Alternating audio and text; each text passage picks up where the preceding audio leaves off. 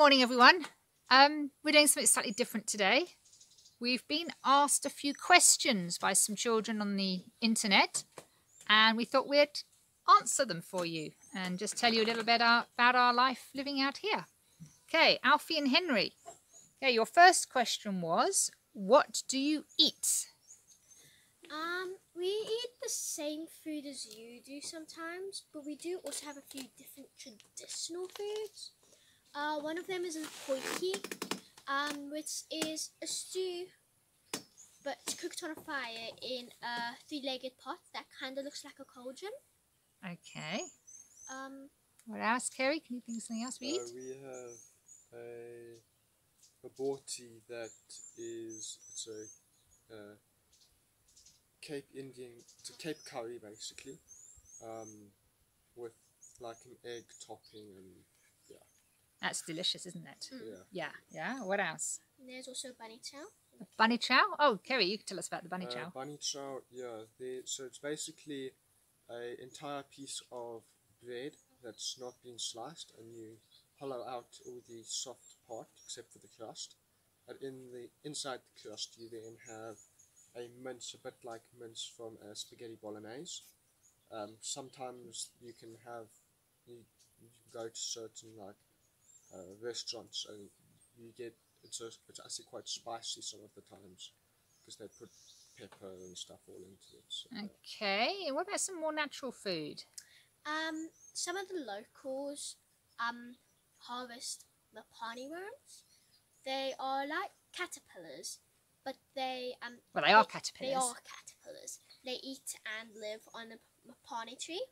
And what the locals do is they harvest them off of the tree and they squeeze the guts out and then they dry them and they eat them after they've been dried for a few days.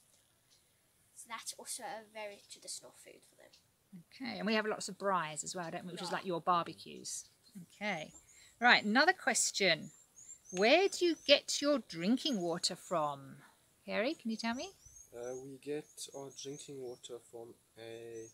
It's kind of like a well, but it's a more westernized style of a well. It's basically a probably a pipe about that sort of diameter uh, that's drilled down into the ground until you hit water. Uh, some some of them can be as shallow as 20 meters. Some can be as deep as 200 meters in some cases. And so you, you then have a, a like a, a pipe about that sort of thickness uh, with a pump attached to the end, and that gets dropped all the way down to the bottom, and that will pump water out of there uh, And into a in, tank. into a JoJo tank, uh, which yeah, 250 liters up to 10,000 liters, I think. which some of then them are. comes down to the house. And then you, depending on obviously how high that is, you then either need a pressure pump, and, and so yeah, that's how we get our water. yeah, Feeds the house. and a It's called borehole. it's called a borehole. Great, thank you, Cary. Uh, do you find another question? Do you find bugs in your bed? Yes. Even in your hair. I woke up with a scorpion in my head one day. Aha. Uh-huh. What do we sleep with?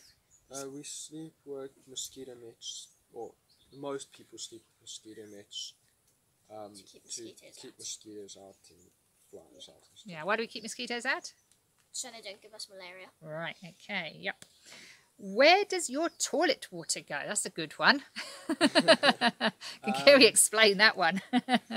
Yeah, so basically what we have here and what most people have is, especially on in the more rural areas like this, is a septic tank. Um, and obviously your cities and your towns, you've got municipal ways of getting rid of your waste and stuff.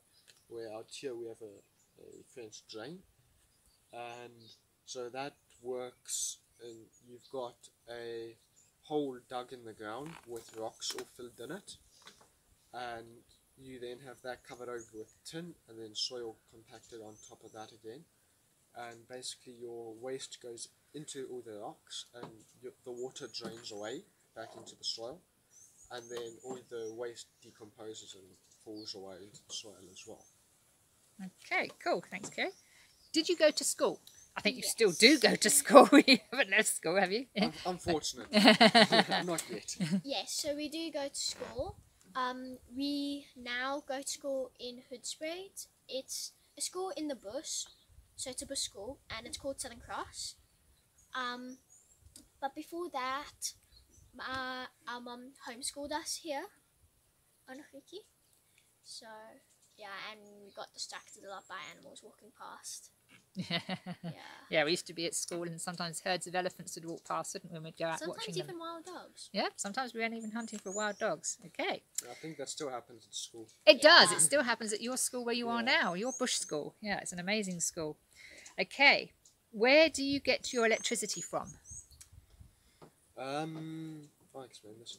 Uh, we basically get our electricity from Eskom, which is a government-owned uh, power plant that powers South Africa.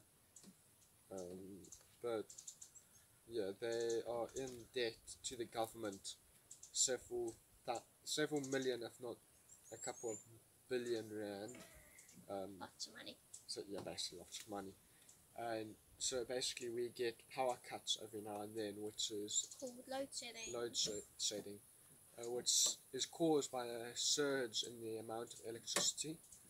And there can be up to seven stages in a day. So when it gets there, it's obviously just hour at a time, and you probably have an hour on, an hour off, an hour on, an hour off. We generally only get up to maybe a max of three. Down in the Cape, they get more. Um, but yeah, it it's they they do it to because obviously because there's more electricity being drawn at that particular time, but also there is um, they they say they need to repair stuff, which yes they do, but they also sometimes say they need to they can't burn the coal because it's wet.